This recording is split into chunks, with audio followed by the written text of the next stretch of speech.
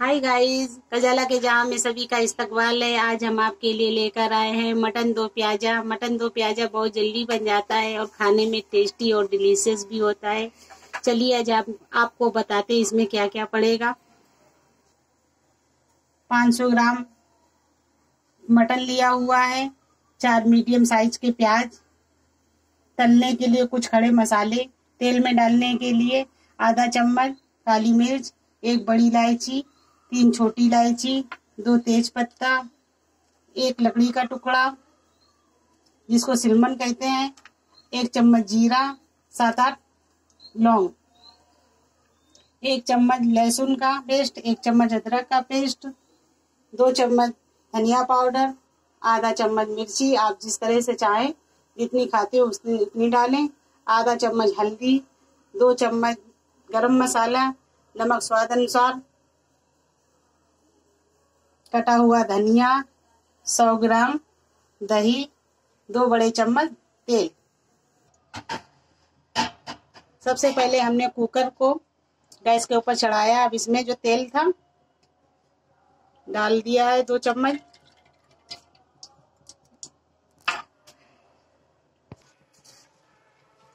देखिए तेल गरम हो गया। इसमें हम तेज पत्ता डालते हैं, लकड़ी बड़ी इलायची, ये सब मसाले डाल देते हैं इसमें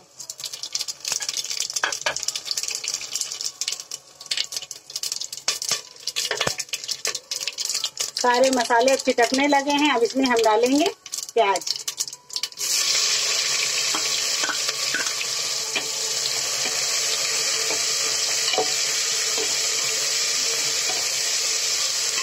प्याज को अब थोड़ा सा सुनहरा होने तक लाल करेंगे।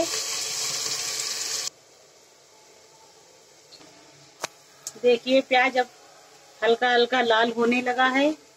ज़्यादा इसको लाल नहीं करना है, क्योंकि अगर ज़्यादा लाल करेंगे तो मटन दो प्याजा अच्छा खाने में नहीं लगेगा। अब इसमें हम चिकन डाल रहे हैं। सॉरी, मटन डाल रहे हैं।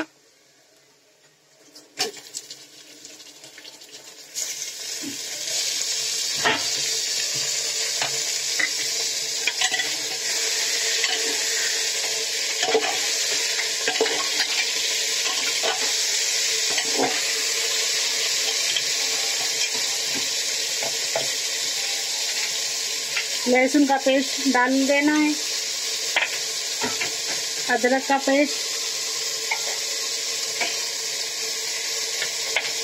अब इन सबको अच्छे से सोटे कर लेना है।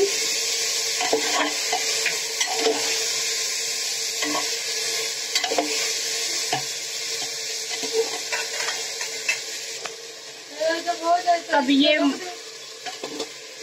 मटन देखिए थोड़ा सा भुनने के आ गया है? अब इसमें धनिया पाउडर, मिर्ची पाउडर, हल्दी पाउडर।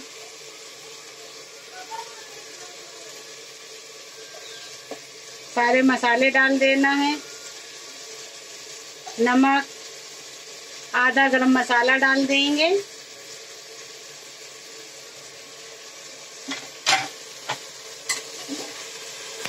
अब इसको चलाते रहना है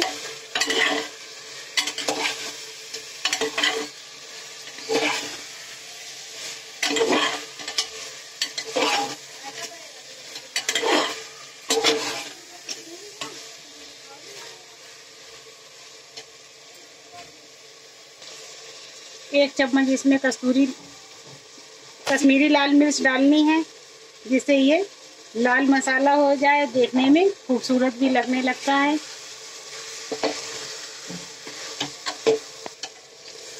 देखिए, अब ये भुजने लगा, भुनने लगा हुआ है। अब इसमें हम थोड़ा सा पानी डाल देंगे। क्योंकि मटन खुद ही पानी छोड़ता है, ज़्यादा पानी डालेंगे तो मटन ज़्यादा गल जाएगा। देखने में भी अच्छा नहीं लगेगा और खाने में भी स्वाद नहीं आएगा। हरी मिर्ची डाल देते हैं और अब इसमें लीड लगाकर 10 मिनट के लिए रख देते हैं। मगर नहीं बना। कुकर को खोल कर देखते हैं किस तरह से बना हुआ है।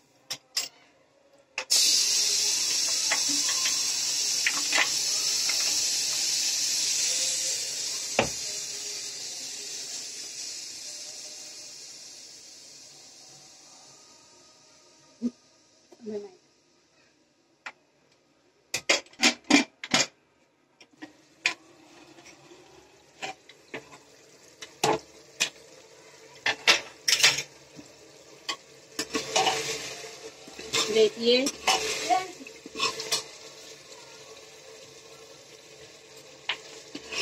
मसाला भूनने लगा है।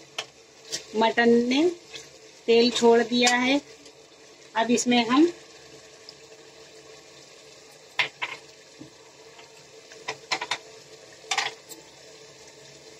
मगज के बीज डालेंगे। दस बारह काजू के। को दो टुकड़ों में कर लिया है।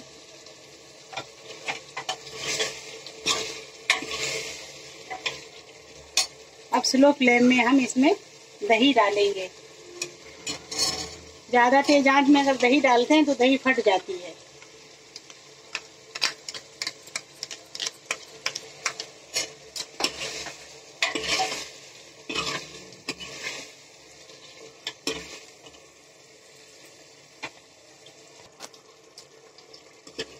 अभी इसमें लीड लगाकर कुकर को फिर रख देते हैं। पाँच मिनट के लिए गोश्त जरा अच्छे से गल जाए। अब कुकर को खोल कर देखते हैं किस तरह से बना हुआ है।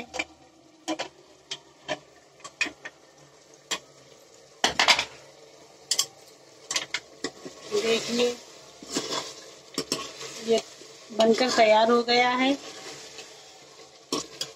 मटन ने मसाला भी छोड़ दिया है और तेल भी छोड़ दिया है। हमारा मटन भी गलकर तैयार हो गया है। देखिए, छुरी भी अच्छे से जा रही है मटन में। इसका मतलब है मटन गल गया है। अब आपको जितना भी इसमें ग्रेवी रखना हो, पानी थोड़ा डालना हो या ग्रेवी को थिक रखना हो तो उस हिसाब से आप अपने रख सकते हैं। ये मटन मेरा तैयार हो गया है, दो प्याजा। अब इस पर धनिया डाल देते हैं। और जो गरम मसाला बचा के रखा था, अब ऊपर से डाल देते हैं, क्योंकि ऊपर से गरम मसाले की खुशबू बहुत आती है। अब मेरा ये दो प्याजा बनकर तैयार हो गया है। आप चाहे तो चपाती से खाएँ, या तंदूरी रोटी से खाएँ, या गार्लिक रोटी से खाएँ, ये खाने में बहुत टेस्टी होएगा। आपको ये मेरी डिश पसंद आई हो तो लाइक करिए, मेरे चैनल को सब्सक्राइब करिए, बेल आइकन को दबाकर नई नई वीडियो देखिए।